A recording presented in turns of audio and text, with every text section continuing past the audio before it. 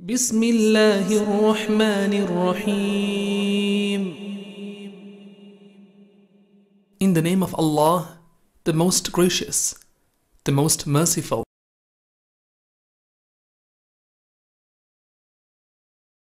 السلام عليكم ورحمة الله وبركاته.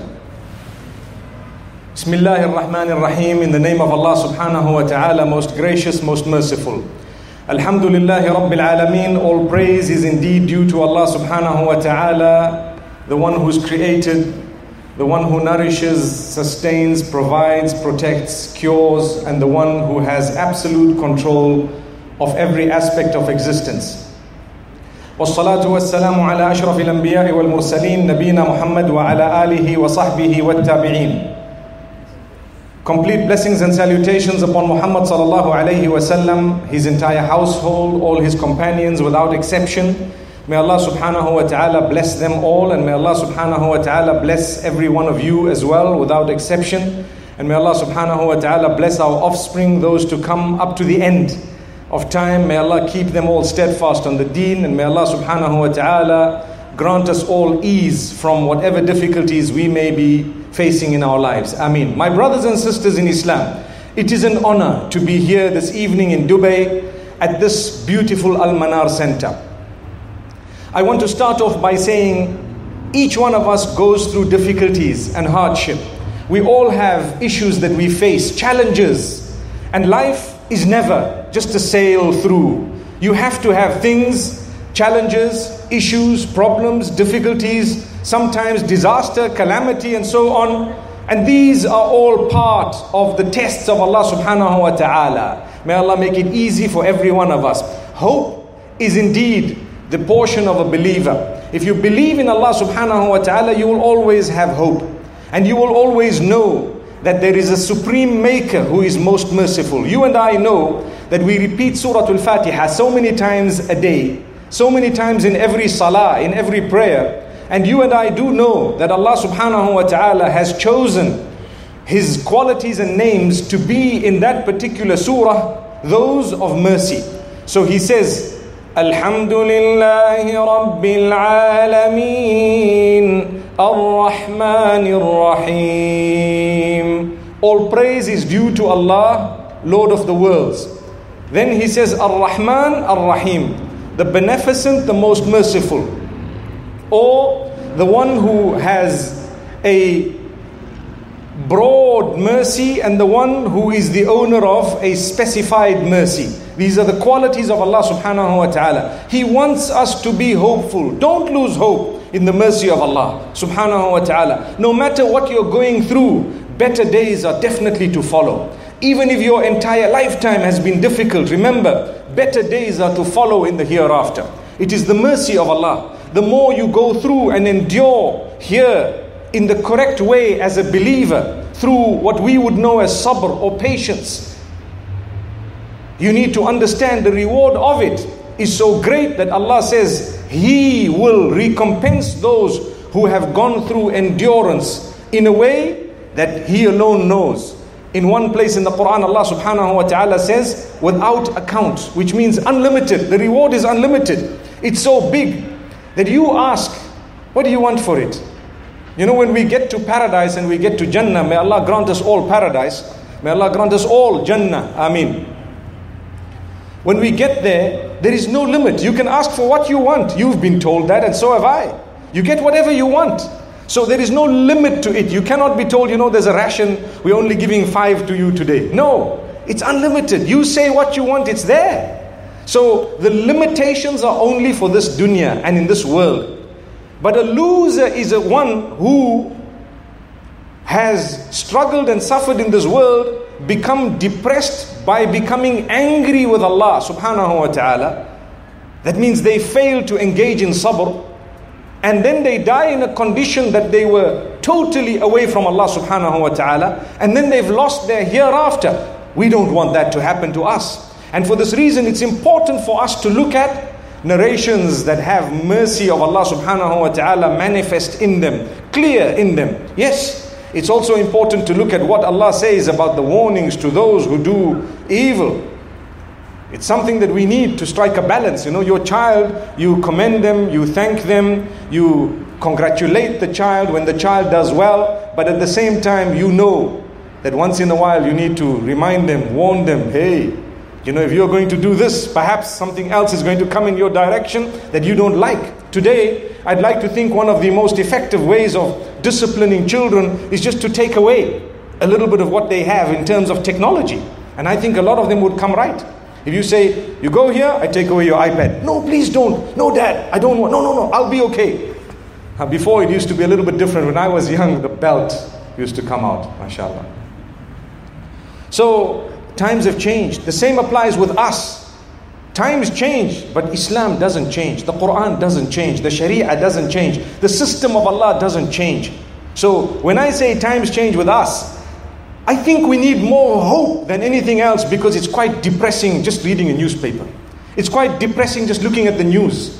It's quite depressing sometimes just to hear what one another have to say. It's an age of materialism where even if your salary is okay, everything is fine, you have a car, but because that car happens to have been perhaps modeled in 2000 and we're now sitting 16 years later, we're depressed. But it gets you from point A to point B. You are depressed and sad not because you don't have. You have, but you don't have what you want. You've just got what you need. That's why we become depressed. Allah's given you what you need, but perhaps He's kept away what you want from you as part of your test. So, why am I starting this way? Yet we're supposed to be talking about the splendid seven. For me, I've learned something crucial. Allah subhanahu wa ta'ala looks for any excuse to forgive you and to grant you Jannah, to grant you paradise. Give Him something. Something. When you look at the doors of Jannah, it's not just one door. There are eight different doors. So many different doors. And so many different deeds that will earn you Jannah. They'll get you into Jannah. So Allah subhanahu wa ta'ala's mercy dictates that a specific single deed can at times get you straight into paradise. If Allah loves it, that doesn't mean just do one thing. I can give you one example.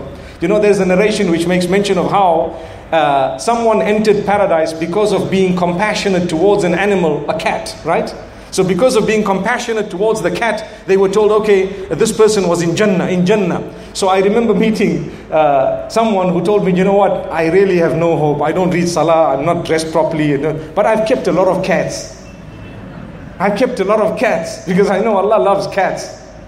How can you say that? You've misinterpreted the whole thing. I'm not saying Allah doesn't love or loves the cats. No. But the reality is there was compassion. Allah is showing you to be compassionate towards others. Yes, that could lead towards your paradise. It doesn't mean that you need to collect a bunch of, or, you know, a whole pack of dogs, for example, because there is another narration making mention of uh, a certain man who actually filled his a leather sock or his shoe with some water in order to quench the thirst of a dog, and that deed was so loved by Allah subhanahu wa ta'ala, so Allah forgave him. It is uniquely in your life, your deeds, the moment you get to display to Allah subhanahu wa ta'ala that compassion. Remember this. So there are so many of these deeds. I give you another example. If it's so difficult to dress Islamically, especially for the sisters, because of what's going on across the globe, because of the environment you may be living in that may not be Islamic, because of whatever other reason. It's so difficult. So many have contemplated abandoning the hijab based on what hooligans and those who are not connected to Islam are perpetrating in the name of Islam in terms of violence and killings across the globe or in some parts of the globe. And it has a negative impact on every one of us. So some contemplate to abandon the hijab because it's become difficult to catch, for example, the public transport in certain countries, identifying yourself as a Muslim. My sister, for you, your paradise lies in remaining upright, for the sake of Allah subhanahu wa ta'ala. As difficult as it was, you said, Oh Allah, I, you, you can see how difficult it is. You know, but I'm never going to compromise something that is connected to your pleasure. That's your Jannah. That to me is more important than anything else. It, because it, it's that moment that will determine what deed is of value.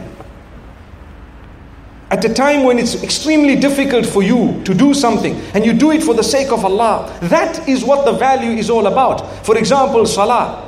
It might be simple for you to read Salat al Dhuhr because you work in the midst of Muslimin and everyone's praying and you just simply can't say, you know what, I'll give it a miss. You know, I remember, this is a true story, okay? There was a group of people, uh, children as well, and what happened is we were on an outing and we said, okay, we're praying.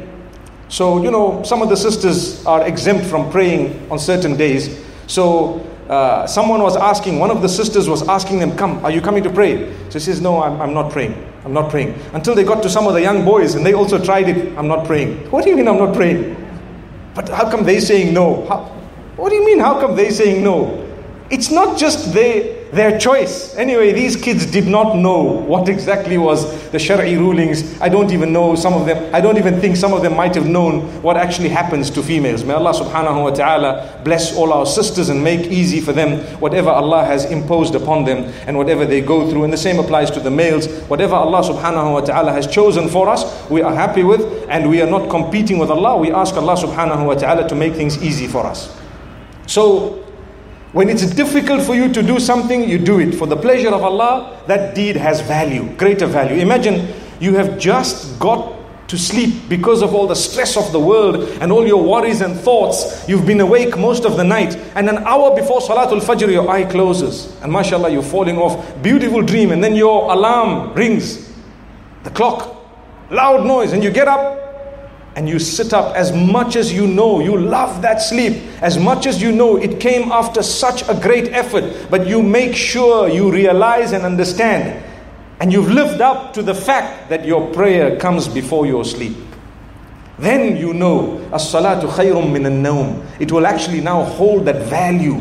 Imagine Allah has asked us through Muhammad sallallahu alaihi wasallam to call people to that prayer in the morning saying as-salatu khayrum min an-nawm. Indeed, the prayer is better than sleep. So if you do that, you surely you will earn the pleasure of Allah subhanahu wa ta'ala. My brothers and sisters have hope. Like I said, everyone's going through difficulties, not because Allah wants to make your life difficult, but because Allah wants to give you opportunities to get closer to Him. Look at it that way. You have a, an illness, you have a sickness, you may have arthritis, you may have just been, for example, diagnosed with something. You may be a person who doesn't have children, you may be a person who doesn't have male or female children, depending. You may be a person who's going through some marital crisis, some financial issue. It's not because Allah wants to put you through a problem, it's because Allah wants you to become closer to Him and to use these issues to earn your Jannah. He will give it to you. And if you are patient, by the will of Allah, you will get that paradise. So, so many different ways of entering Jannah, so many different deeds that please Allah subhanahu wa ta'ala. Not just one thing. Someone will enter Jannah because of how much Allah gave them wealth and they used it. Someone will enter Jannah because Allah gave them an expertise, they used it. Someone will enter Jannah because Allah subhanahu wa ta'ala blessed them with strength, they used it. Someone will enter Jannah because perhaps Allah put them somewhere at a place where or at a time when th- there was a need for them and they helped out. Look at the floods that are happening across the globe in and in uh, South America and so on, those who are there and they are able and capable to help and they are helping. And even from amongst us, if you're able and capable to reach out to those in need and you have reached out at that moment, Allah is watching. He knows it would be wrong for you who can swim perfectly well, who is perhaps a very fit person who knows how to dive and at the same time people are drowning and you say it's okay you know? Like what they do nowadays someone drowning saying help help and they take out their, their cameras and they say okay yeah one minute one minute i'm coming. And they take everyone wants to take photos. And someone says wait wait wait don't go and help them right now. One more one more. Have you heard the word one more when they're taking pictures? One more. How can you do that? You need to know when to take the photograph and when not to take it. People today are so obsessed that when there is a dire, desperate need of you to rush to the assistance of a person who's dying, you're more interested in taking the picture, documenting the scene. May Allah subhanahu wa ta'ala forgive our obsession with technology. And trust me, it affects everyone. Every one of us can do better when it comes to technology. Every one of us. And that's just a broad statement, but it's applicable to all, myself included. May Allah grant me goodness and make us all from among those whom goodness is granted to. Amen. So, there are so many narrations that make mention of these deeds that are loved by Allah. This evening, we want to talk about a group of people that I usually refer to as VIPs, because in our language, VIP means a very important person. Imagine today someone from the crowd who's sitting there and desperately wants to get to the front, and suddenly your name is called out from here. Think about it for a minute. Wouldn't you be excited?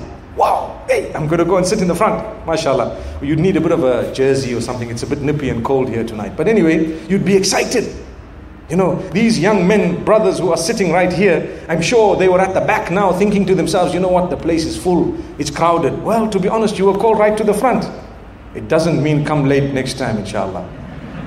Yeah. It's a bonus of coming late, isn't it? May Allah subhanahu wa ta'ala help us. And some others might be thinking, I came so early and I'm sitting in the middle. Don't worry. I want to give you an example. If your name was called out today, you would be so excited. As I entered, I saw some brothers and sisters looking so excited. I didn't know what to say. I just had to carry on walking, salam, and I greeted them and walked. And I'm thinking to myself, may Allah grant them such excitement on the day of judgment. That is the true excitement. To be excited in this world is actually nothing. What is the true happiness? What is the true competition? It's to get to paradise. It's to be in Jannah. That day when we are given our books in the right hand, that is the day we will be super excited. In order to get it there, we need to work in this world in a way that whatever challenges Allah's put in our lives, mashallah, we will carry on, always looking happy. You won't know what type of stress perhaps I might have. You won't even know why. Because we are trained to be true believers who are smiling, come what may. May Allah subhanahu wa ta'ala help us. So, this narration of VIPs, very important persons. Imagine if your name is called on the day of judgment, the sun is so low, people are sweating, so much happening, everyone's worried, nafsi, nafsi, each person's worried about themselves, their deeds, the day of exposure, the day when all deeds may be laid bare. May Allah help us. Wallahi, if you don't want your deeds to be laid bare, there is a way out. Seek forgiveness. Allah wipes it out such that even the angels don't know what's going on. That's why I started off by saying Allah is merciful. Have hope.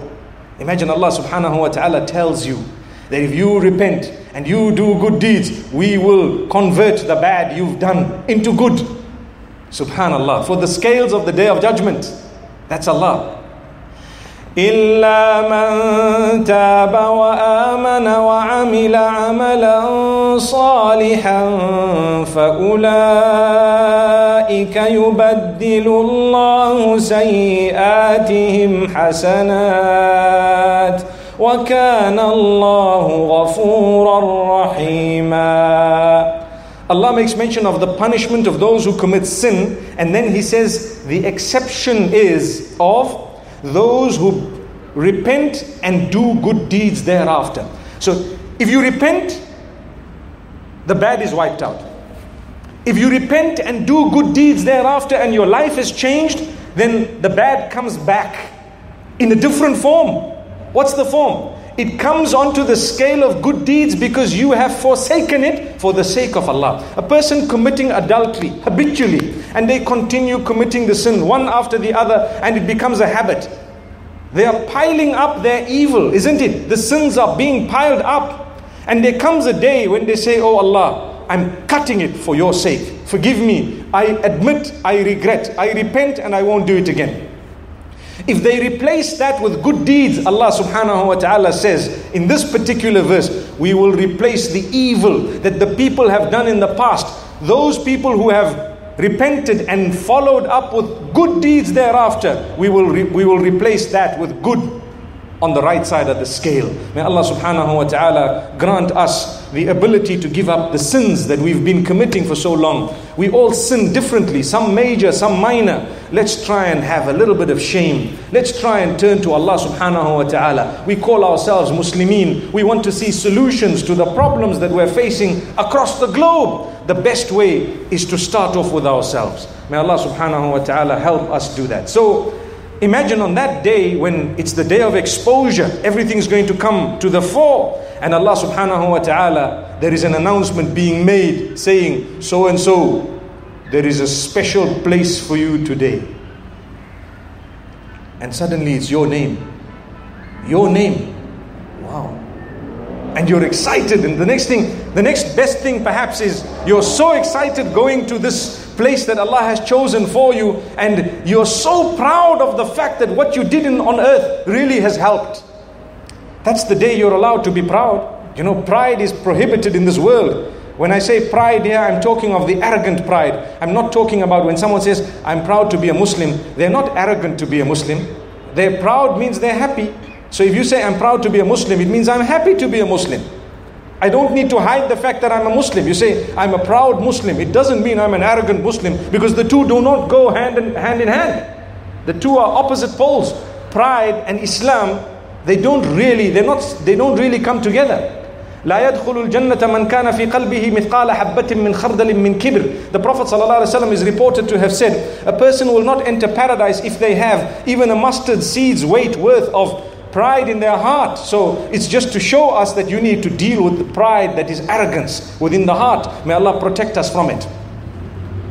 So the beautiful deed here that we're talking about is when a person is happy to be a Muslim, such that you don't have to hide your identity. You know, people say it's so hard to be Muslim today. Well, there are billions of us. If every one of us happens to be living Islam, we will send the correct image across the globe and it will become easier to live as a Muslim. But if every one of us is going to hide our identity, when people look at us doing good deeds, they won't even know Muslims are doing good deeds. Why? Because the names have changed, they've become names that nobody can recognize as Muslimin, and the, the identity has changed completely. May Allah subhanahu wa ta'ala grant us the shade on the day of judgment. Ameen. So these VIPs will be called into what? They will be called into an area, a place. What is that place? Allah knows best. What exactly is that shade? It's a special shade from Allah subhanahu wa ta'ala. The details regarding matters of belief should stop exactly where the verses stop or the authentic narrations stop. You need to know that. I cannot add one sentence and I cannot deduct one sentence. That is what we believe. So if someone says, Give me the details of this shade, I can only give you what the messenger has said in authentic narrations. And if someone has disputed the authenticity of a narration, I can tell you, look, I can go this far, but I don't know beyond this. There's no point in entering territory of the that which is unseen from your own whims and fancies because it's not left to you and I to decide.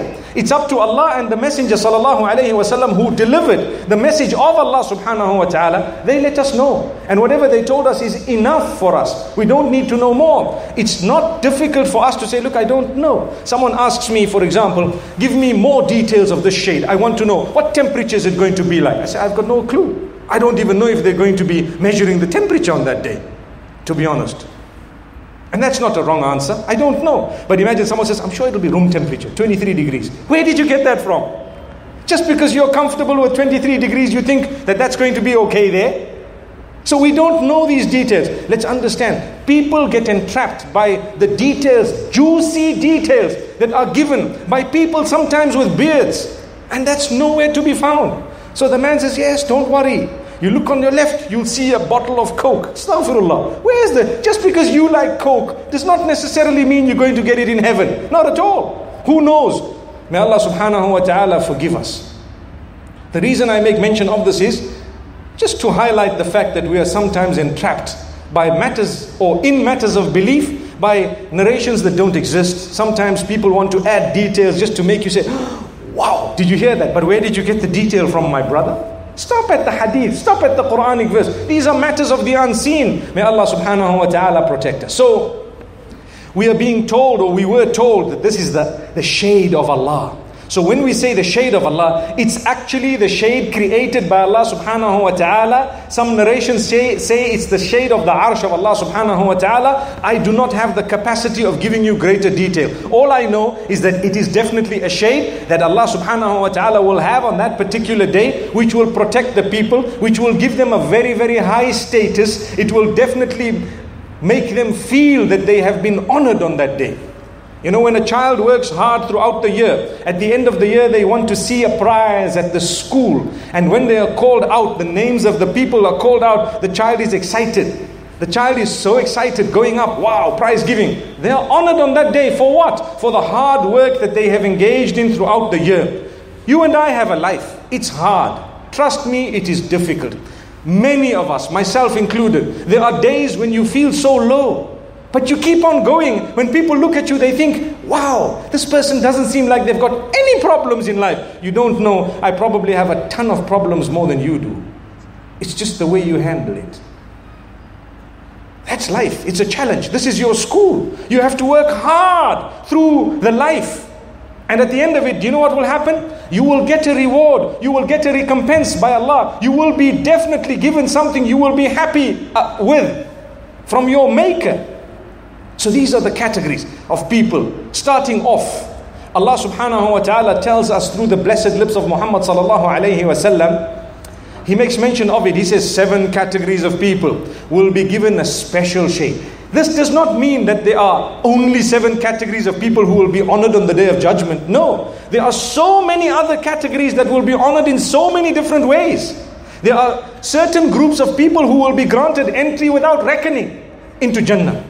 No reckoning. That's a bigger honor. That's a huge honor. Imagine if you're told, listen, we know that there's so much you've done, but we want to give you paradise without even looking at your deeds. Just walk straight through. You know, when you walk through, and I've always given this example because it affects us all when we travel. You're walking through the customs. Whether you have something or you don't have something, who likes to be stopped? No one. You want to be told, you know what? Just proceed. They look at you, they smile, they greet you sometimes. I hope they do. And then at the end of the day, you walk out and you're so excited. You're either excited because you had something and it was not declared, or you're excited because you didn't have something and people were being stopped and you were not stopped. So, mashallah, what, what were you wearing? Maybe I should wear that clothing the next time I walk through. Subhanallah. Don't worry. In this world, that doesn't mean much, although it makes us happy. When it happens to you and I on the day of judgment, may Allah make it happen. Ameen. You know, that Ameen could just have been the moment, subhanAllah. So don't lose out on saying these Ameens. May Allah let it happen to us that we are given Jannah without reckoning. Ameen. Imagine you're told, listen, we just love this one deed you've done so much. We want to give you Jannah, no, no hisab, no adhab, nothing, no punishment, no account, walk straight through. And you say, I don't even know if that would happen because I don't think we'd have the time to even think about it. We'd just be sailing straight through. May Allah subhanahu wa ta'ala give it to us. So there are so many categories of people who will be honored. Today we're only talking of a specific narration of Abu Hurairah radiallahu anhu made mention of in the most authentic books of hadith. It is narration muttafaq alayh, which means it's a narration that is agreed upon. It's of the highest level of authenticity. And I want to make mention to you something very interesting. If you look at the qualities I'm about to make mention of, you will notice something amazing. These are qualities of people who have sacrificed. They are people who, like yourselves and myself, who have tried on earth to do things. Imagine if there was only one thing and we were out of it, we would feel hopeless. But it can include any one of us, as you will notice in a few moments. Don't you want a special shade on the day of judgment? I do. We all do. So listen, the Prophet ﷺ says, the first of those people is Imamun Adil. Imam Adil. Now, there was an Egyptian actor known as Adil Imam. I don't know if you've heard him or if you heard about him. I think he died some time back. And there was one man who actually said, Well, he died. And I said, What are you talking about? He died. I said, This is talking of equality. If you don't know the Arabic language, don't just jump to meanings. Please go and ask people who know. And the reason I say this is some of us don't have a clue. And we just think this is what it means and that's what it means. No, go back to the authentic sources in order to learn what it means. Imam means a leader, Adil means just, a ruler who is just. And the scholars have included in that category anyone given any form of leadership or authority who fulfills it with justice Allah says, You deserve, you deserve to have a VIP status on the day of judgment. You deserve to have this special shade on the day of judgment because you had authority. You could have done whatever you wanted while you were in authority, but you didn't. You were fearful of Allah. You were just. When your own family members did wrong, you made sure you stood up and told them you're doing wrong. When your enemies did what was right, you made sure that you acknowledged it even though they were your enemies. Today, we look at people and we say, well, this person's not a Muslim. You know what? I don't need to even look. I don't. Can I tell you? Your reaching out to those who are non Muslim could also be your ticket to heaven. It could.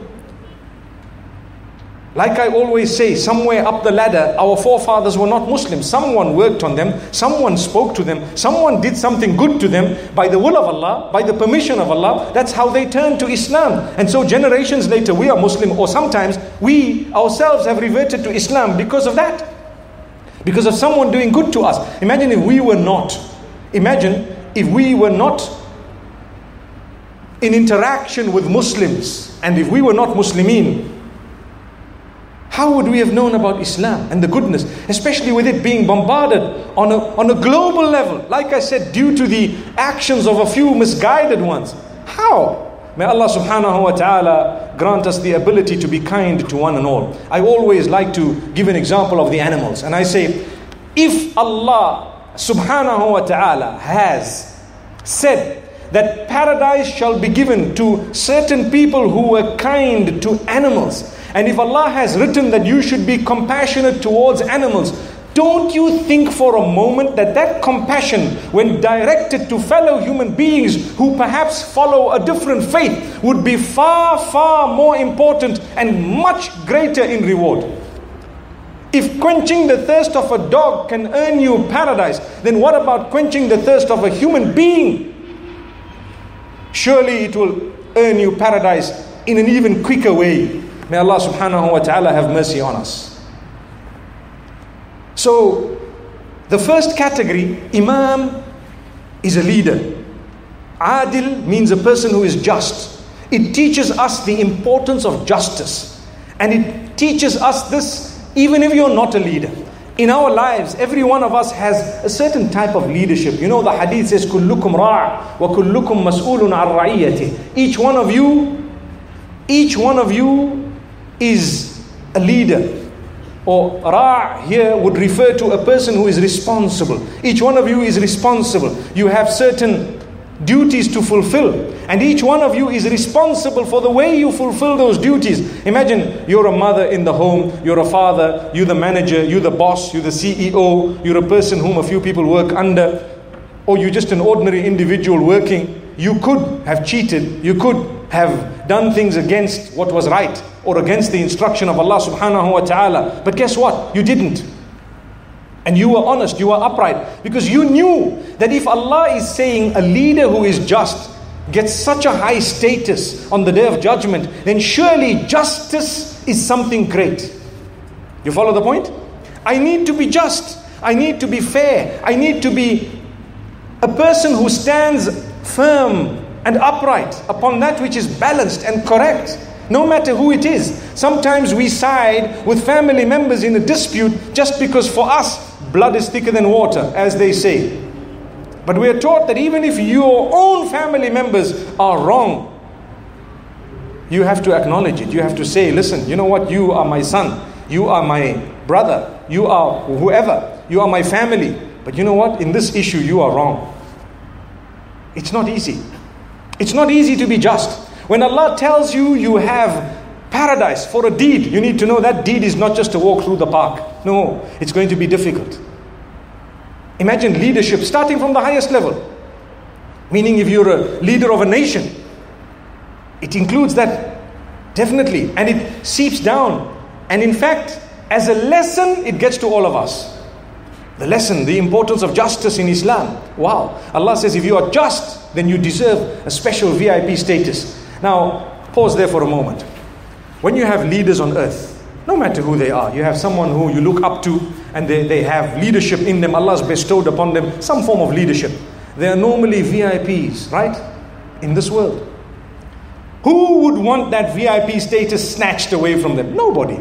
Imagine you tasted what it feels like to have, wow, authority, a bit of power, a, a say, a clout, and suddenly you're the man, subhanallah. You know, you're the person you're the woman, so to speak. Everything happens according to you. Would you like that to be snatched away from you? The answer is no. Well, Allah says, hang on, you might be a VIP on earth, but there is one way of getting VIP status in the hereafter as well. And that is, while you are a VIP on earth, you need to make sure you use those days to humble yourself, to be just, to be fair with everyone, to be concerned about someone standing right at the back there. The same way you are concerned about those who are seated in the front. I'm just giving you an example. It's unfair for me to just say, you know what, how's it, guys? You guys okay? And I'm concentrating on these few faces. Again, they came later than those, and look where they are sitting, mashallah. Wow, that's just from Allah, subhanahu wa ta'ala. So, it's unfair for me to ignore the rest. I feel in my heart that if I could have given each one of the people a little bit of time, I would have. But honestly, we are human beings. There needs to be understanding on both sides. But at the same time, let's leave that. We are just mere mortals. We are human beings. Let's talk about Allah subhanahu wa ta'ala. He loves justice so much that definitely that quality, if we were to instill it in our own lives, and if we were to try and be as just as possible, come what may, the VIP status will never be snatched away from us. Those who were in authority will remain on a high pedestal even on the day of judgment. Because nobody in authority wants that to be snatched away in a way that they are disgraced. Imagine a person was a huge leader and suddenly disgraced, they cannot even walk on the street. Who wants that? May Allah protect us. We don't want that to happen in the hereafter. You might have had it in the world. You want to preserve it and continue it and take it further? It's quite simple. You need to be just. May Allah subhanahu wa ta'ala grant us goodness. Let's move to the next quality. Now it includes most of us.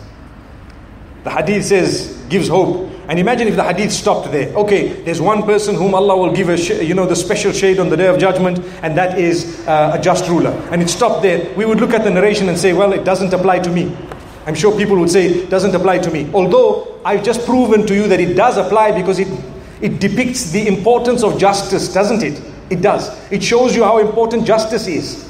If that's what a person will get, then definitely justice is something grand. However, the Allah's mercy dictates that He won't just stop at one category. He wants to give you a chance also. You know, today to rub shoulders with the VIPs is a big mission. It's an issue.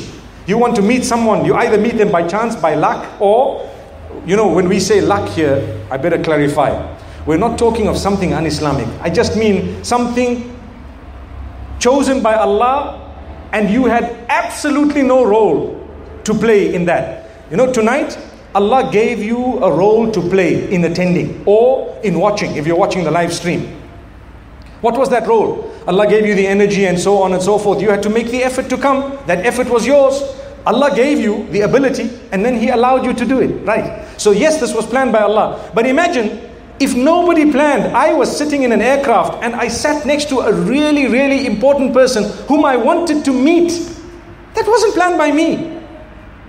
It was totally and absolutely planned by Allah subhanahu wa ta'ala. And it was a moment I got that was something, I'm sure you're itching to know who that was. Anyway, let's leave that. But at the same time, it was something from Allah. This is, I'm just showing you the difference between the two.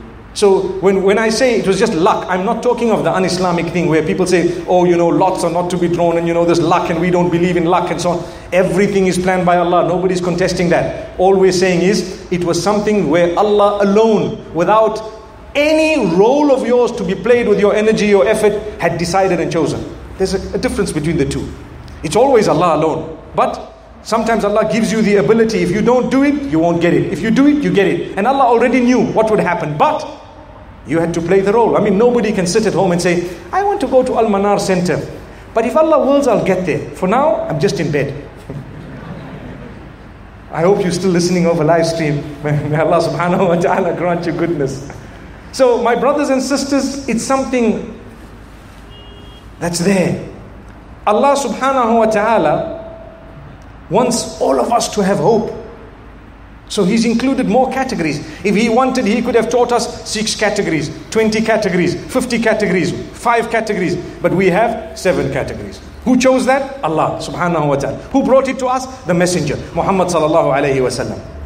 So the second category, shabun nasha'a fi ibadatillahi ta'ala.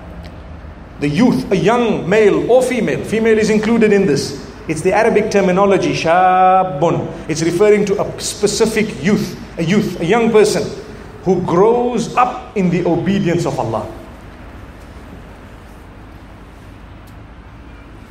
I see there's silence. A lot of people are saying, Well, I'm already grown up. Don't worry, you, you're also going to have more categories where you will be included. Allah's mercy includes that. But let's pause for a moment and take a look at this. As you're growing older, you get to your teenage. You know, nowadays it starts a little bit earlier, the irritations because of perhaps, I think, technology and so many other things, the way we eat and whatever else it is. So many other reasons. You know, normally when you get to about 12, then 13. 13, they say these are the teenagers. That's what they call teenagers. Why? Because adolescent years, a little bit difficult. Transformation from childhood to adulthood. That transformation, some never transform. I called one man, I said, How old are you? He said, 60. I said, I think you are 16. He said, Why? You're acting like a teenager, man. Some people never transform. Have you noticed they're childish? They behave, they misbehave throughout their lives. They never settle down. May Allah subhanahu wa ta'ala help us settle. And some, you don't even notice, they're so matured from a young age 12, 13, 14, they're okay. And 13 sometimes, they're young, and, but they're still, mashallah. However, there is a transformation even physically, and Allah knows that. And Allah knows you will be going through challenges, hormonal changes. Allah knows you will be having days where you might be frustrated, there might be things happening. You think you're the most powerful person on earth. A lot of the young people at a certain age think they can beat up Mike Tyson and everybody put together. That's how they think. Because why? You're bubbling, bursting with energies, everything happening. And Allah says, obviously, such a young person, if they grow up in the obedience of Allah, they are sowing the seeds of a day when they will be given the shade of Allah subhanahu wa ta'ala, special shade. This would have to include parental involvement, or it would have to involve the parents or guardians or someone who teaches you, who tells you, who speaks to you, and keeps reminding you in a beautiful way.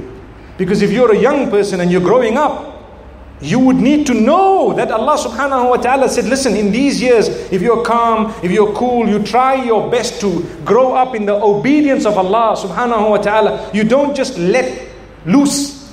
You know, you have these urges, like I said, hormonal changes, perhaps levels of testosterone, you know, fluctuating and so on. You don't just go out and start doing what you wish. So the clubs have you registered every day, you know, ticked off. Yes, this guy is there, he's there, he's there. No. Sins to be committed, wallahi, they're available. It's anyone who wants to commit a sin, the sins are available. What makes you better is when you can control yourself for the sake of Allah. Be a human being. Don't just release yourself. I tell you, sins come with a lot of depression. They bring about regret, if not today, then tomorrow. And Allah says you can cut it by repenting. You can seek Allah's forgiveness. Subhanallah. It's amazing. You just say, Oh Allah, I've had my bad ways, my bad habits, I've committed this sin, that sin. I admit, I regret, I seek your forgiveness and I won't do it again. And Allah says, The sin is wiped out. Guess what? You do not ever need to confess a sin to anyone, no matter who they are, besides Allah subhanahu wa ta'ala. Allah, I confess to Allah. That's what makes me a Muslim. You don't need to tell a soul what you've done. That's part of Islam. Your respect is intact. Allah covered you when you were sinning. Do you think He's going to expose you when you've been repenting? Subhanallah. So the hadith says a young person. And youth here means people with energy. I don't think there's a cap to it. You know, I can't just tell you, look, it's from 13 to 30. I cannot say that. Youth, someone who's growing up, you grow up in the obedience of Allah. So as you're young, You've matured. Guess what? Your books are now opened. You know, the hadith says, Rufi al qalamu an thalath. The pen is lifted from three people. That means the angels do not record the deeds of three people. Whatever you see in your dream, you're not responsible for. It's from Allah subhanahu wa ta'ala. So if a person went in his dream and he did something, he's not responsible. She's not responsible for what she dreamt. He dreamt. That's part of this hadith. It's the first category of people Similarly, a person who is insane, they're not in the right frame of mind, or they're not, they're mad, so to speak, you know, they're not in their mind. They will not be held responsible for their utterances and their actions. For as long as certain conditions are met, I'm just saying that a person who's not in their mind, they're not held responsible, accountable for deeds and actions. And the third category is as-sabiyu hatta yahtalim. A child, until the child becomes physically, sexually mature. The child is mature now, so you've got to an age. Once you get to that age, the angels begin to write your deeds. So your salah better have been in order before that. This is why the hadith speaks of encouraging your kids to fulfill their prayer at the age of seven and disciplining them in that regard at the age of ten and so on. The hadith continues. Because by the time they get to that age where they, they are now considered uh, having arrived at the age of puberty and the books are opened, what would happen? You want all their prayers to be written from day one. So this person grew up in the obedience of Allah. May Allah make it easy for us as parents to look after our children. And may Allah subhanahu wa ta'ala make it easy for our children. And you know, like I said earlier, the environment sometimes is very difficult. And the same applies to the television and various other forms of media. As much as it's important to know what's going on, it's important to also know whether you're being brainwashed or not. Very important. To also know whether what you are watching and seeing and believing is actually the fact. May Allah subhanahu wa ta'ala help us. Ameen. So, a, a young person growing up in the obedience of Allah, they kept themselves clean. They kept themselves with a good slate as best as possible. They avoided major sin and they tried their best to obey Allah's instruction and so on. Allah says, You know what? Because you controlled the bubbling energy and the bursting energy that was there, and you made sure you channeled it towards the obedience of Allah subhanahu wa ta'ala. We want to give you a VIP status on the day of judgment. Subhanallah. It's worth it. Now let's go back to the lesson I drew when we spoke about justice. From this, what I learned also is the importance of controlling your energies and your desires. Control them. It's better for you. Control it. If Allah says He's going to give the, those who grow up having controlled themselves a special place on the day of judgment, then surely that controlling itself must be such an important thing, and it is. So now comes the people who say, well, you know what, I either fell during these years, so I'm not included in this category, or I'm already old, so I'm not included in this category, and I did whatever I wanted to when I was younger. So the mercy of Allah dictates that there will be more categories that will be spoken about. رجل قلبه معلق بالمساجد A man whose heart is hanging in the house of Allah, in the masjid. That's the literal translation. Let's go further. The women might say, What about us? That's a very good question. What about you? That's right. You have the right to ask that question. Well, this is to do with the importance of the prayer, turning to Allah, the houses of Allah when it comes to the men, and the salah itself when it comes to the females. But they're both included in it. Indeed, if it's a sister and she's concerned about the next prayer, the moment she finishes the current prayer, then it, her heart is hanging at the place of worship. And this is why the term masjid linguistically refers to a place of sujood. Did you know that? Masjid. It's a place where you put your head down. So generally you have a sajjada. They call it a sajjada, meaning it's, it's the term used to refer to the piece of cloth or the little carpet or whatever you would like to lay down in order to put your head down to sajda. Sajda means prostration in the Arabic language. So sajjada taken from sajda. Sujud, masjid, also from the same root. It's where you put your head down to the ground. So the sisters are included if their hearts were hanging to the place of prayer the next time they had to make the prayer. What is meant by my the heart is hanging in the house of Allah or in the masjid? Imagine the hadith didn't say Baytullah, but it includes Baytullah, meaning the house of Allah. If you read Salatul Fajr, for example, in the house of Allah, and as, as you come out, you're wondering, where am I going to make my dhuhr today? Am I going to be here okay, I will go to that masjid because I'm going to work and I have an errand and I'm going to be at that place, for example, so I'm going to go there. What happened? Your concern for the next prayer will lead you to this VIP status on the day of judgment. I'm concerned. So I'm not talking about the current prayer. I'm talking about your concern for the next one. Because your heart is literally stuck there. You need to go there. You know when you're in love and they say, "Oh, where's your heart? Oh, my heart is in. And then you mention the country where your wife is, for example.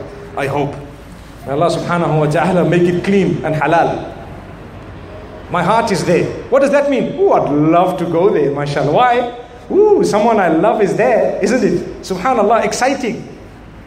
We get so excited when it comes to something of that nature. What about where, if someone says, Where's your heart? It's stuck in the masjid. Why? Hey, I don't want to miss my next prayer. Wow. Wow. MashaAllah. It means I just love Allah so much. I can't wait to be in communication with Him once again in a specific way known as prayer at this place where He asks me to go. Ah, wow. I want to go for Allah. So I want to go again. Brothers and sisters, make an effort to fulfill your prayer on time. One of the biggest traps of the devil, and perhaps we may speak about it tomorrow. We have a topic connected to this, to the prayers, is him convincing you that there is still time for your prayer. That's the first trap, the biggest trap. A person who's regular with their prayers, for example, shaitan says, Hang on, you just heard the adhan. There's still another two hours to go for the ending of the time. You say, Yeah, you're right. And you carry on doing your work. Suddenly, two hours, five minutes finished, and you say, Oh no, I missed the prayer. So if your heart is always hanging in the masjid, for example, or the place where sujood is supposed to be, and like we said, the proper meaning here referring to the masjid, the house of Allah subhanahu wa ta'ala, but for the sisters it would obviously include the place where you're going to make the sajda. I'm interested in the next one. So therefore, you deserve the status. My connection with the one who is the owner of the day of judgment was more important to me than my connection with anyone else. Therefore, he on the day of judgment decided that I will get a VIP status. You follow the point? Someone might say, Why? Why does Allah want to give a status to such a person? Well, they were interested in Allah. This is why there's a powerful narration that raises the hair. Do you know what it says? Man ahabba liqa Allah, ahabba Allahu liqa'ah. Whoever loves to meet with Allah, looking forward to it, guess what? Allah loves to meet with you and looking forward to it too. Wow. You love to meet with Allah? You want to meet with your Maker? Well, your Maker wants to meet with you too. Subhanallah. Hadith says, whoever goes close to Allah, a handspan, Allah gets closer to him a whole foot. More than that. Whoever walks towards Allah, Allah comes to him rushing, which means Allah comes even quicker than you can. May Allah subhanahu wa ta'ala grant us His help. May Allah grant us Jannah. So, this is the, the third category. We spoke about Imamun Adil. I'm sure you've understood what that means. Right? Shabun nasha'a fi ibadatillahi ta'ala. The young person who grew up in the obedience of Allah. Rajulun qalbuhu mu'allaqun bil masajid. A person whose heart is hanging in the place of sujood, the masjid. Who gives importance to salah. Brothers and sisters, before I move to the fourth, let me inform you or let me remind yourselves and myself we can improve when it comes to prayer. Timing, quality, and then quantity. We can improve. If your timing is right, you can improve on your quality. If your quality is right, then you can improve on your quantity. There's no point in making so many units of prayer. You know, they're known as raka'at. So many units of prayer, so many raka'at, but each one of them is just like Allahu Akbar, Allahu Akbar, Allahu Akbar, Allahu Akbar. You know, there was there were two kids reading Salat al-Taraweeh. You know, Taraweeh is known for, you know, Ferrari and so on. Speed up. I'm sure you've seen it on the internet. I saw it, and wallahi, it's an embarrassment. That's not an act of worship. That's an insult to Allah. I'd rather you don't pray that in that way. Insulting Allah subhanahu wa ta'ala. How can you reduce salah that is voluntary to something that is such a big burden on your shoulders that you just want to get done with it and move? Is that how you treat your maker? Come on. Imagine if you were, if your loved one had to treat you like that, to say, ah, it's okay. Astaghfirullah. You wouldn't like it. So why would you like to treat Allah like that? Take your time in prayer. You need to feel the calmness of the prayer. You need to feel the goodness in that prayer. This is when you will achieve. So these kids were reading their Salat al-Taraweeh at one of the schools, one of the madrasas, and they were being told that, you know what, we're going to be watching. Everyone's going to be leading because you guys, you, you, you are studying the Quran and you guys are uh, memorizing. So you need to, you know, two, three, two, three guys need to read the Salah so that you can memorize and you can revise the Quran. So this one guy's reading, and in fact, they were sitting and chatting. And as the teacher walks in, and they hear the footsteps, and they don't know their work, they don't know what to read. The only thing they know is what I'm about to say. And so the youngster gets up and he says, Ya'lamun Allahu Akbar. And the next time he says, Ta'lamun Allahu Akbar. And the next time he says, Yattaqun Allah. How can you treat Allah like that? Ya'lamun, tattaqun, ta'lamun. Is that what it's all about? Anyway, those who are kids, there are some adults who literally follow the quickest mosque. A lot of us are guilty of this. Am I right? Am I right? Be honest, am I right? They all said yes themselves. Did you hear that? May Allah forgive us all, myself included. Wallahi, when you when you are close to Allah in prayer, time means nothing. Nothing. If you want to know that you are close to Allah, ask yourself, am I concerned about the timing when it comes to prayer? Those of us who are imams from amongst us here, or those who might hear this later, I'm not saying test the patience of those behind you, please. We're not saying that. You know, they complained to Muhammad sallallahu alayhi wasallam, hadith, Mu'adh ibn Jabal radiallahu anhu, when he was sent to Quba to lead. And there was a complaint about the fact that he used to read long salah, long. So the Prophet says, Hey, are you trying to cause a problem here? Stick to these surahs. And he gave him, you know, roughly how much you should read. Don't prolong it so long. That subhanallah, people become so angry. I'm sure you've heard the one about uh, the, the, the new Muslim who entered there and he was reading his salah, and suddenly the Imam continued reading and he continued reading. And this he's standing in prayer and the Imam continued and everybody's standing and he's thinking to himself, you know what? This is just Salatul Fajr, it's the beginning of the day. And this man is reading, it's been 20 minutes and he's carrying on. Anyway, he was patient because he didn't know much. When he finished, he asks, Hey, hey, hey, tell me something. What was he reading? So the guy next to him says, No, this is an important surah. It's a, it's a surah in the Quran. What's it called? It's called Baqarah. What does that mean? It means the cow. It means the cow. So the guy says, Okay. Wow, okay, I know it's long. It's a long surah. So he knows now when he comes for salah, he's going to ask, Hey, what surah is being read? If it's the cow, he says, Hey, you know what?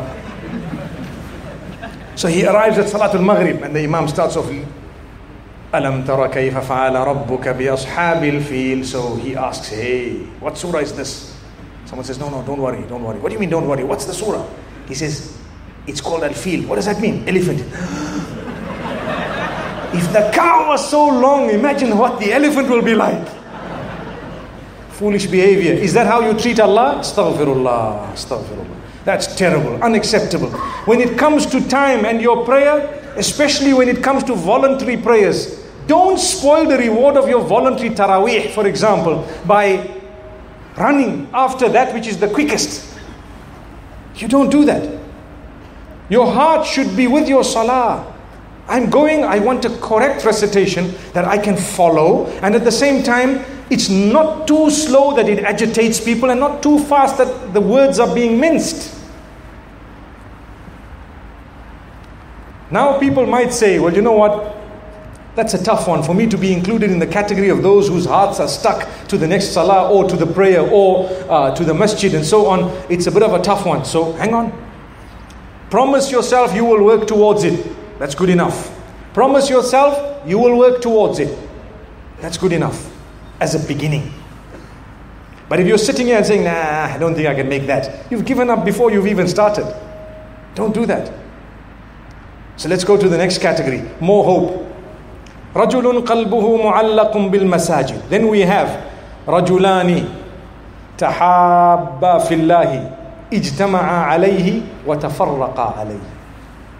Two men. The term men is used, but it would also include two sisters, two females who love each other for the sake of Allah.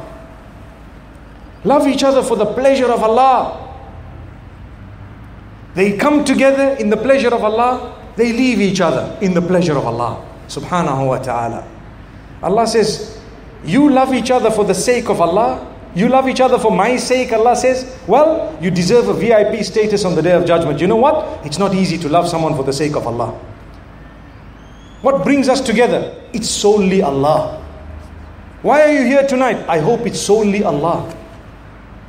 I love you for the pleasure of Allah. Yes, indeed, you do. And so do I. What that means, let me inform you of something interesting. The love for the pleasure of Allah is very broad. You feel it when you see people trying to obey Allah's instruction in one way or another, and that makes you feel the connection. So I'm walking in the streets of London, for example, and I see a sister dressed like a proper Muslimah, I've got no clue who she is. And I see her perhaps pushing her little kid's stroller and so on. And I know how difficult it is to dress that way. And I will never know who she was. And in my mind, I say, Subhanallah, I feel the connection. She will never know me, I will never know her. What's connecting me to her? The fact that she's trying to please Allah. She's doing something to please Allah. Oh Allah, help her. Oh Allah, grant her goodness. Oh Allah, make it easy for her. This can happen at an airport, at a public place, Muslim country, non Muslim country. Imagine you get into the masjid. Now, if it is a person of the opposite sex, you do not have to tell them that, you know what, I love you for the pleasure of Allah. But if it's a person of the same sex, it's a sunnah to actually tell them if you can. You know, I recall these people, and it happens a lot of the times, where you have youngsters, they say, they tell some girl, I love you for the pleasure of Allah. Okay. Is that like a password? You know, for the pleasure of Allah. Does that make the first part of it halal? You know, relax, take it easy. You can just make dua for them. Allah knows that you care for them, the pleasure of Allah. And you love them. There's nothing wrong in loving your sisters in Islam for the pleasure of Allah. But there's something wrong in what you do with it. If it really is for the pleasure of Allah, you know its limits, you know its lines, you know what to do with it, you know what to say, you know when to say it, you know if you have to say things how to say them, and so on. I remember I told this one young couple who said, No, no, no. I said, How did you get to know each other? Interesting question. No, you know, we were we were studying together the same year. Oh, mashallah. And you know, she was such a good child. Mashallah. Well, you, you're a child calling her a child as well. That's what it is. But at the same time, how did it develop? Well, I told her that, you know what, I love you for the pleasure of Allah. And that's where it started. Okay? So Love for the pleasure of Allah became love for my own pleasure. That's what happened. Love for the pleasure of Allah became love for my own pleasure. Make it halal. That will continue love for the pleasure of Allah. You can love your family members for the pleasure of Allah. But Allah has given you a different type of love when it comes to your father and mother. I can love my father for the pleasure of Allah. And I can dislike him for the pleasure of Allah. But I have a different type of a love, a filial love, for example. I have a different type of a love and a connection that is there that would make me fulfill his rights even if he was not a Muslim. Because of Allah subhanahu wa ta'ala. So when it comes to others, yes, I love you for the pleasure of Allah, and that's it. Subhanallah. However, you happen to now do business with the person, you happen to now do so much more with the person, no problem. You still love them for the pleasure of Allah and you will still guide them, you will still help them. When they guide you, you will take the guidance. You know, if you love someone for the sake of Allah, when they correct you, you take the correction because you know, hey, this person told me what's right and wrong, and I need to, this is for the sake of Allah. And when they tell you something, subhanallah, the other way around, if you were to tell them something, they should be ready to take it. Subhanallah.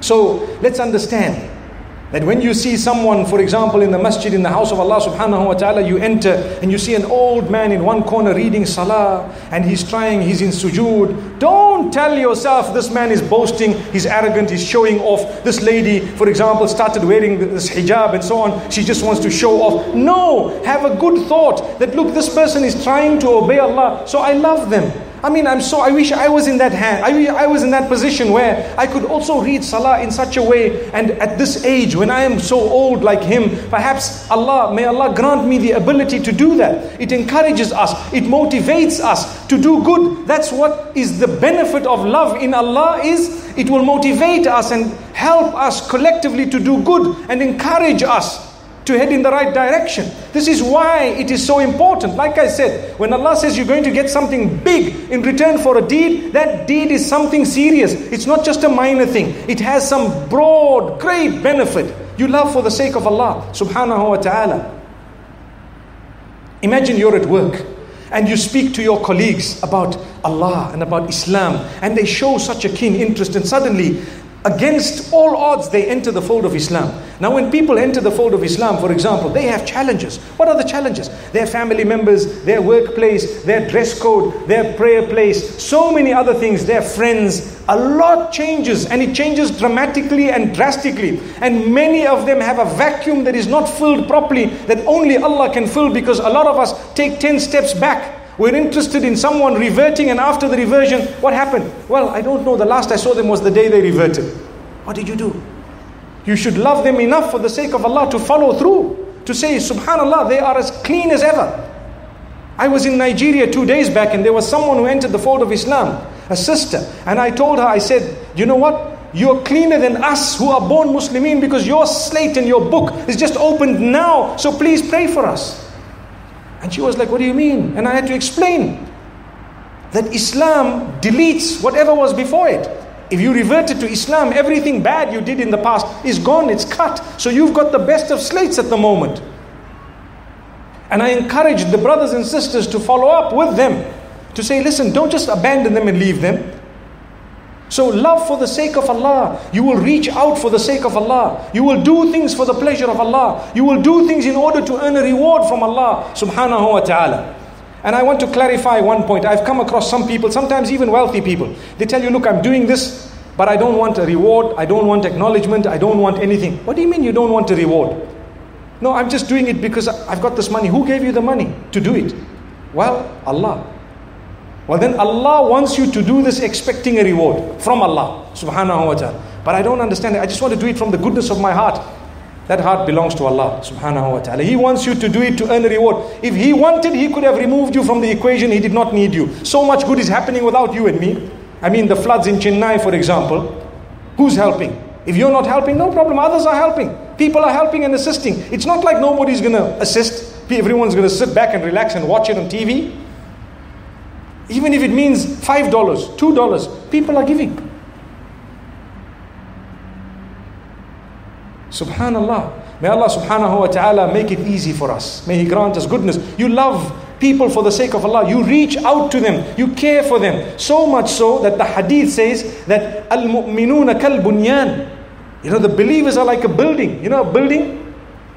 The bricks are all together. Go and see how it is.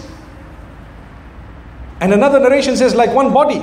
إذا اشتكى منه عضو تداعى له سائر الجسد بالسهر والحمى If a single organ of the body is complaining of pain, the entire body is restless and suffers insomnia because it's just one little nail on the baby finger that's affected. What happened? The whole body is affected. Concern.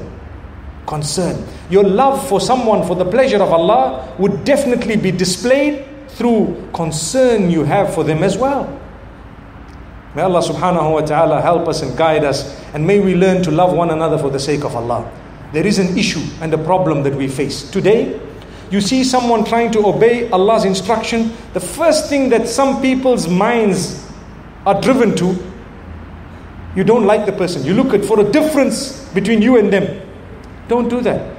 Don't go out hunting for differences. And don't just dislike someone because perhaps they read salah slightly different from you or they have their finger in tahiyyat slightly different from yours. No, that's the devil's plan to make you hate one another.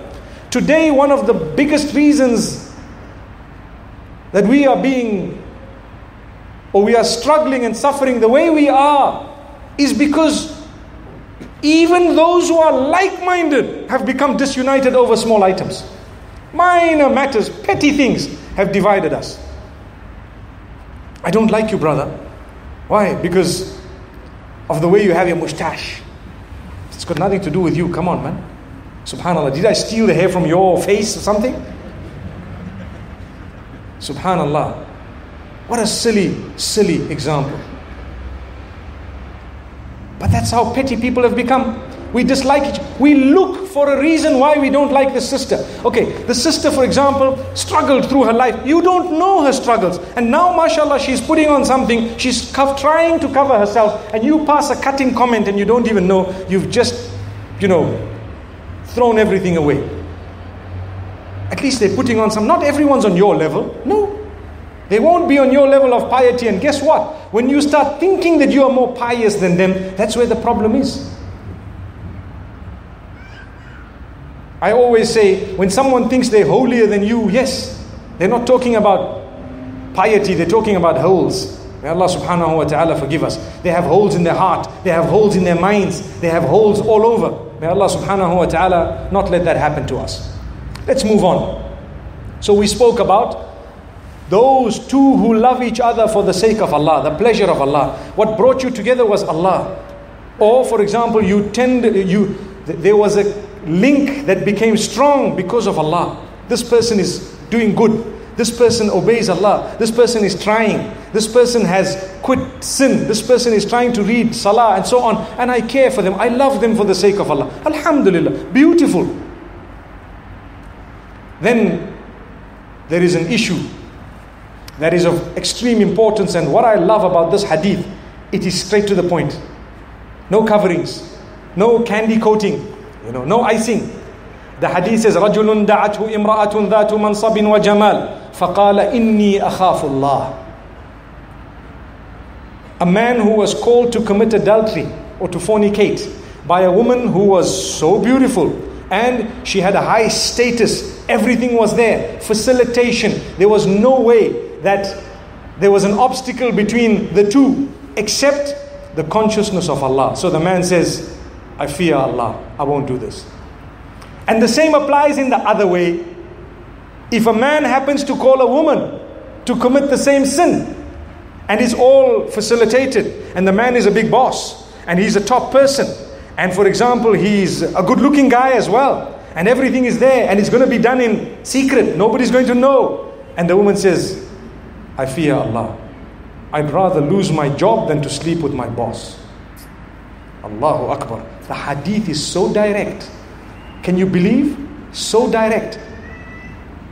Imagine if this is the status of a person who turned down an offer only for the sake of Allah.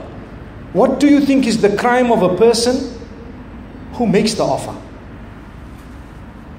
And on the globe at the moment, how much have we heard of women being abused they are told, you know what, you have a problem with something, whether it's your permit, whether it's your something else, your work, your job is at stake. But you know what? If you do me a sexual favor, I get it done for you. As easy as that. The choice is yours. Now you can walk out of that door.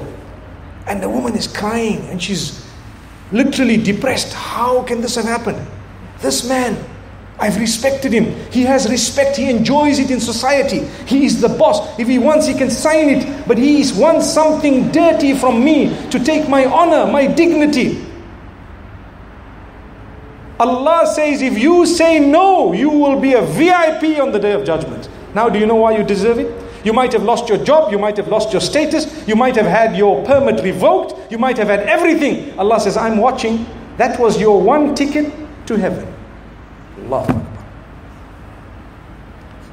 And I'm quite sure this problem is becoming more and more common because we are living in an immoral, indecent world at the moment, which is becoming more and more immoral and indecent. Didn't I tell you the hadith was straight to the point? We could say blunt, which means, you know, it just came straight. Brothers and sisters, fear Allah. Those who are calling towards this, what will you get from a moment of pleasure? Dishonoring a female, or the other way around. This hadith speaks about a man saying no. Someone might ask why? Why didn't the hadith say the woman saying no? I tell you why. Women will generally, in fact, for a man, when everything is facilitated, it becomes difficult to say no. People know women would probably hold back. A man, he's a man. He'll say, Yes, why not? It's all facilitated. He needs more power to say no than a woman. A woman by nature, she wouldn't move into this type of immorality so quickly. With a man, you and I know it's different. That's why the women say, ah, those are men. You know, they look at you and they keep on looking at you. They keep on looking at you. And the man's got a beard to the ground. And he's still looking at you. And then he gives you evidence from the hadith to prove that his look is okay. It's still the first look. How dare you? Number one is you doing wrong. Number two is you embarrassing the people. And number three is you want to present your religious evidence to suit what you've just done now. Astaghfirullah. You know, I was in Nigeria two days ago and we sat with some of the panelists, and one of them, a local Nigerian sheikh, and he was speaking about how when something comes on your screen as you are on your phone or laptop, and it happens to be haram, you know, you have a nude image, you have someone you're not supposed to be looking at. So, what are you supposed to do? He said, Look, the first glance is yours, which means you can how did you know it was bad? Because you looked at it and said, Astaghfirullah, and you quickly I either changed the page or did something. But he says nowadays they say, Astaghfirullah, look at this. Astaghfirullah. Hey, hey guy, check this. Now look, la hawla wa la quwwata illa billah. Look at what they've got here, guys, you know. And you spend 20 minutes saying Astaghfirullah. You've defeated the purpose. Wallahi, that's the reality. It's happening. You saw it, Delete it and carry on. Don't infest your mind with it. And don't use a religious excuse and keep on uttering Allah's name and keep on looking at that. That's blasphemy, man. That's insulting Allah subhanahu wa ta'ala. It's a reality. People are doing it. That's why I'm talking about it. I found it really funny when he said it, so I'm sharing it with you today. So, this is the thing. If you can hold yourself back, control yourself, your sexual desires, control them, it's a direct indication, direct instruction to say, control yourself. Now, people might say, you know what, I've fallen in the past. Well, go back to the Quran and the Sunnah of Rasulullah and you will find narrations that make it clear that you can still be forgiven.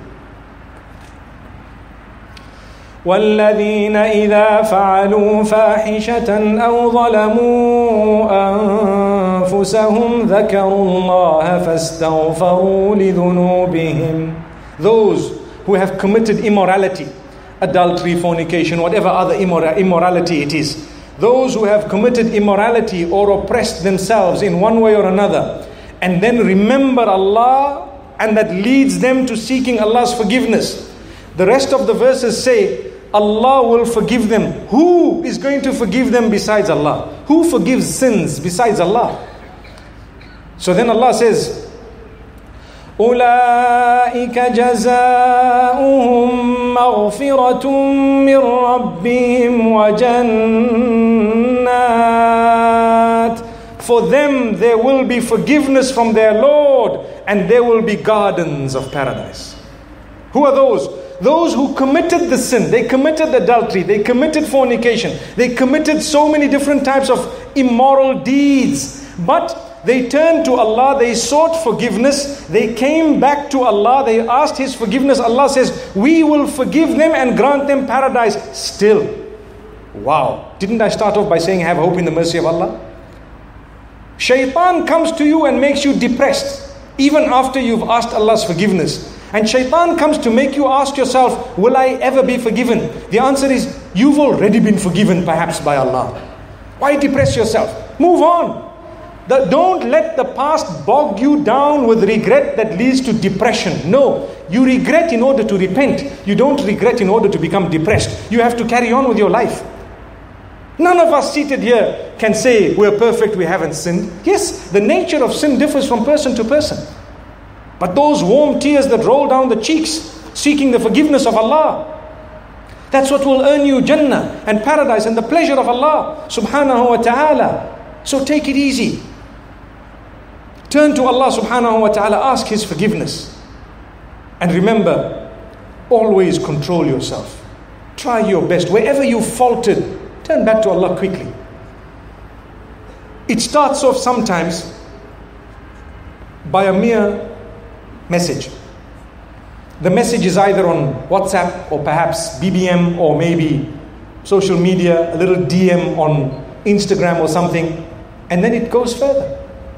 And it goes further and further until shaitan makes sure that he gets you exactly where he wants to get you. Well, I tell you, if you have already fallen, come out of it.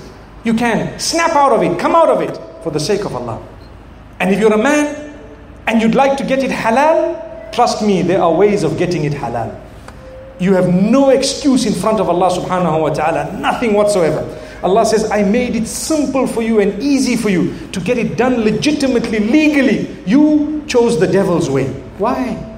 May Allah strengthen us all.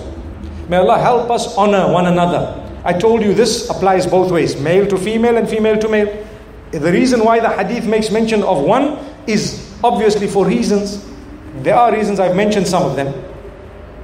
It doesn't mean the other is not included. Then the same narration continues. Like I said, such a person deserves the VIP status. You have held back something that was really you were able to do. Your whole body wanted it, your mind wanted it, your heart wanted it. There was nothing stopping you. And you just said, you know what, I can't do this. I just can't do this. I fear Allah. You deserve the VIP status on the day of judgment. May Allah subhanahu wa ta'ala help us. Then the narration continues, and the Prophet says, رجل تصدق بصدقة فأخفاها حتى لا تعلم شماله ما تنفق يمينه A person who spends in the cause of Allah, they are charitable, they give, and they hide their charity in a way that the left hand does not know what the right hand has given. For them, we will also give them a special shade. Look, it's getting easier, isn't it? We started off with إمام عادل شاب نشأ في عبادة الله تعالى رجل قلبه معلق بالمساجد رجلان تحابا في الله اجتمعا عليه وتفرقا عليه رجل دعته امرأة ذات منصب وجمال فقال إني أخاف الله I hope you now know those five categories. The sixth one is becoming easier to give a charity and to be secretive about it. No one knows. Because when you give wealth, you want acknowledgement. It comes naturally sometimes. And sometimes say, no, no, no, I don't want acknowledgement. Please don't tell anyone anything. Okay, okay, fine. But can we mention your name in the vote of thanks? Ah, okay, that's fine. Well, there we are. Vote of thanks. We want to thank. If the vote of thanks came without you saying anything, no problem. But you should have gone out of your way to say, listen, I'm donating 3 million here and I don't even want to know. In fact, you can send someone else to donate the 3 million. Is that okay? Make sure he did it because sometimes in the way it might disappear. Imagine a person wants to donate a huge amount and you don't even know it was them. And they keep on coming and greeting you and you keep on treating them the way you treat the, the rest of the Muslimin. This is why do not underestimate who's seated right next to you right now, including you guys here. MashaAllah. There are VIPs in the eyes of Allah who might be sitting right next to you and you don't know, you treat them in a, in, a, in a way, oh, this guy's complexion is darker than mine. This guy looks poorer than mine. Oh, he's smelling of perspiration when I've got the latest boss perfume. So what? That's not the height in the eyes of Allah. This person could be closer to Allah than you can imagine. They are oh, owed a beautiful greeting with a beautiful smile, even the sisters amongst yourselves. Sometimes there's a lot of arrogance. You see a person of a different nationality. You see a person who might not be exactly like you. No greeting, no salam, no kalam. We went to a proper Islamic talk. Get to know those seated next to you in a beautiful way. Greet, smile, make the people feel good. They will want to come next time because they will say, wow, we enjoyed ourselves. But you go there and you sit and you move away. Why? Because the person next to you perhaps comes from some other part of the world that you don't consider as highty-tighty as yours. Astaghfirullah. Astaghfirullah. You are a Muslim. You should be feeling this. Why do we want to become higher than others? For what? Like I said, you don't know who's next to you. Perhaps one day you may need them in this world before the next by the will of Allah. Imagine if there was a huge accident and the person who was sitting right next to you says, Sister, it's you. And you look at them and you think to yourself, Wow, this was the sister I refused to greet. I refused. But she's so kind. She still helped me. She still continued. Now we became friends. Why? Because she helped you. Let it be for the sake of Allah from the beginning. That's what it is. Learn to greet one another. Don't be arrogant. And you know what? If someone is asking you something that you cannot deliver, tell them, I can't deliver this. I cannot deliver this. But let it happen. For example, someone says, Brother, will you visit me at my home? Look, I can't. I'm so sorry I can't. I love you, but I can't visit you. You know, can you give me please five minutes of your time? You know what? I can give you a, a few seconds because if I could give everyone five minutes, you have to be honest. You have to be open. And if they think about it, they will understand. They will know that yes, there is there are limitations. The problem is, and like I've done this in one of the masajid once where I asked them to greet one another, to get to know one another, perhaps, you know, the brothers to exchange uh, details of what you're doing and so on. And one of them came back to me and said, Please, Sheikh, don't ever do that again. And I said, Why? He says, I got so many Muslims coming to my business now that they know what I'm doing, begging for discounts. It's embarrassing me, man. Is that what we said get to know each other for? Don't just look at your own benefit. I'm there and I ask you, brother, where do you work? I'm the CEO of this company. Oh, Allah sent you here, man. Allahu Akbar. They won't come next time because they're going to think to themselves, you know, I'm sure there are really important people sitting in our midst quietly. I'm convinced they are. Even among the sisters, I'm convinced there are really important people seated around. You all are important, but perhaps some people who have gone out of their way to be here, I acknowledge that. May Allah bless you. May Allah grant you the best of this world and the next. This is what makes the ummah. People don't know that what you've done in order to be here, for example. Subhanallah. This is why we say, when you give, when you do, you don't have to brag about it. I tell you, there was someone who did something for me, for me. And every time he reminds me, he says, You know what? Don't forget, I did this, I did that. I tell him, You know what, brother? I'll calculate the amount and I'll give it back to you. What do you mean? I said, I don't want you to talk about that. And to be honest, later on, I actually took that amount and gave it to a charity and told him, Listen, your amount, I've given it to the charity. I'm telling you about my own example. And I did it in a nice way because it became too much. You want to do something for someone, do it for the sake of Allah, not to get, you know, to brag about it for the rest of your life. You know, remember, you're here because of me. Remember that. What are you talking about? It's Allah. Yes, I might acknowledge. I'm not saying don't thank people. No, thank them. But the giver is who we are speaking about today. The giver should be a one who does not want to clock mileage out of his giving besides the pleasure of Allah.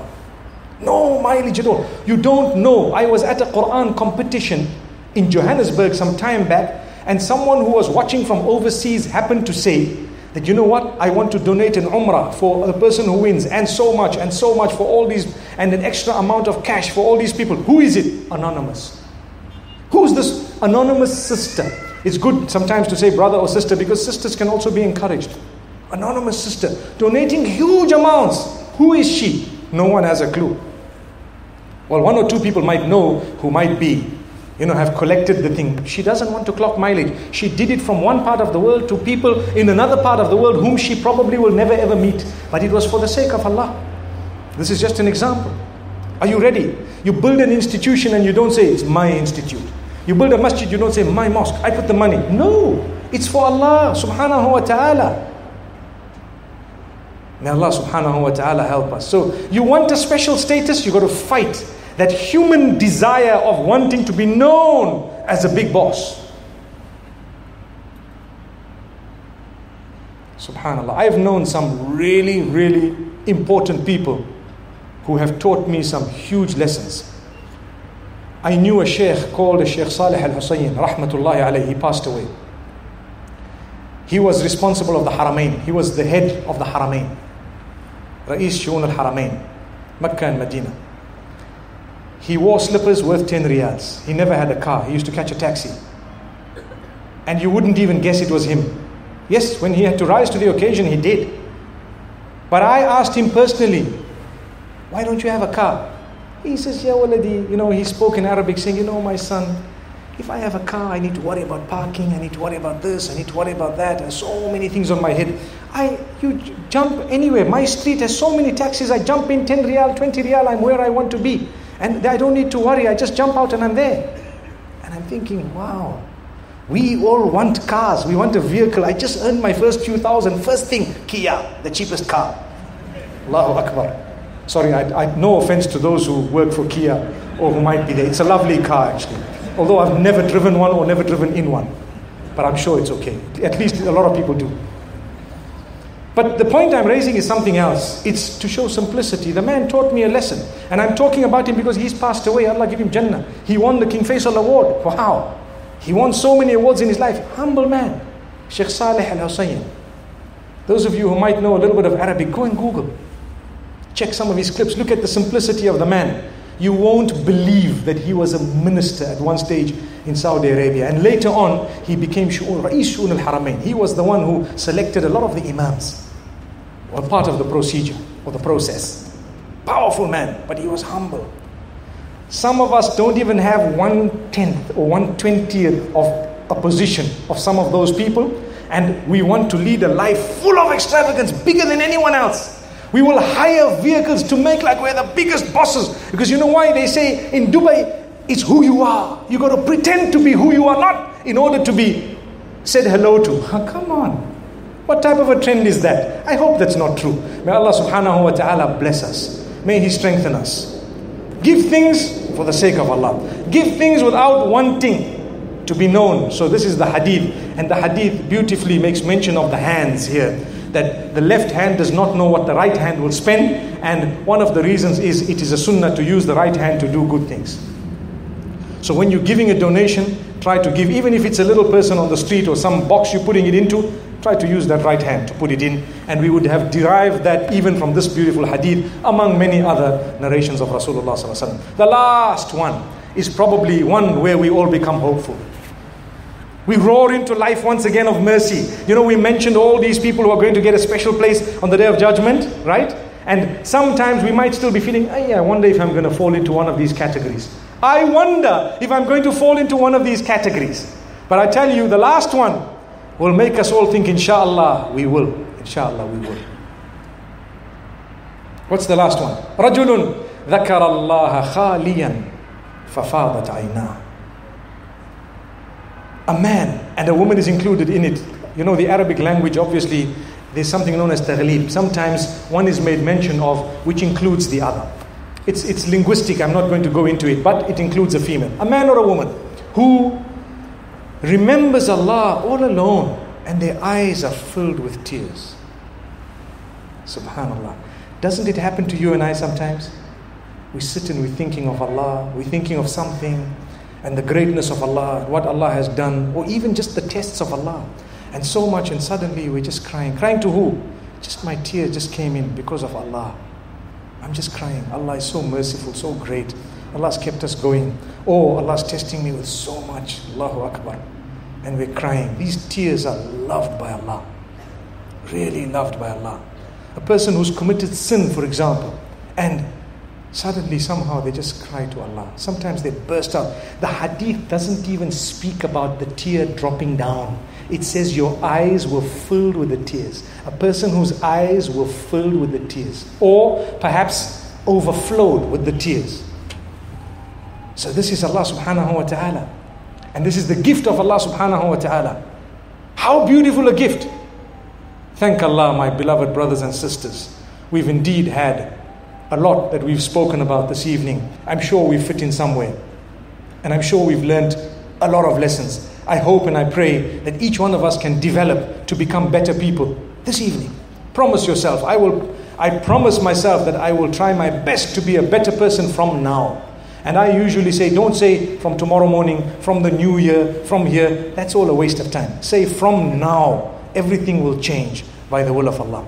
My brothers and sisters, it's been an honor to be speaking to you this evening. And I hope I haven't taken up too much of your time. I actually just spoke until I completed whatever I wanted to say. And at the same time, the weather's been absolutely awesome. Don't you agree? Alhamdulillah. So, to get this type of natural air condition is quite rare in this part of the world except in this season. So let's make the most of it inshallah. We hope to see you all again tomorrow if Allah wills. Until then, wa sallallahu wa sallam wa baraka ala nabina Muhammad. Subhanallah bihamdih. Subhanakallahumma bihamdika nashhadu an la ilaha illa ant. Nastaghfiruka wa natubu ilayk.